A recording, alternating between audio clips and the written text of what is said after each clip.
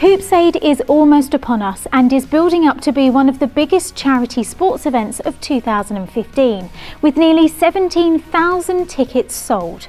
So here's the founder of Hoops Aid, Lance Haggith, with some breaking news on the latest plans for the day and what fans and sponsors can expect.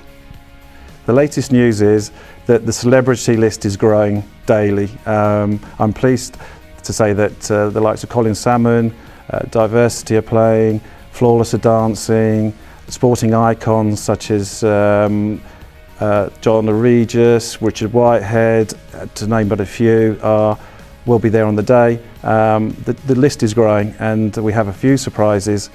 Great news for all you Jackass and YouTube fans. Steve-O has flown in from LA to be with us on Hoops Aid on May the 10th. He is going to be in one of the teams, so expect some fun and possibly some trouble.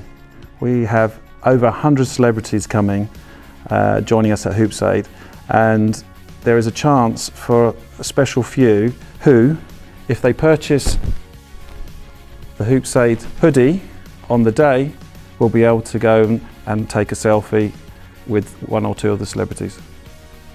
The ticket sales are amazing. We've broken all records for a British basketball game ever and it's just beyond wildest dreams. Um, we've got quite a bit of media coverage. We have plenty of newspapers, we have TV, BBC, uh, Sky are all coming down and they're, they're showing an interest in basketball and also in who we have coming. Yeah, we, we've been really lucky with the sponsors that have donated so far uh, and in fact we've only got probably a couple of boards left so if you're a company out there and you haven't committed this is your chance to be part of the biggest basketball extravaganza ever in the UK.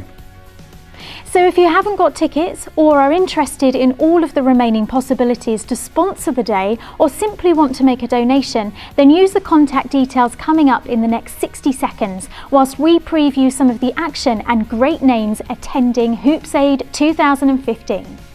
I would say definitely 100% calm. Like it's an amazing event. It's for a good cause.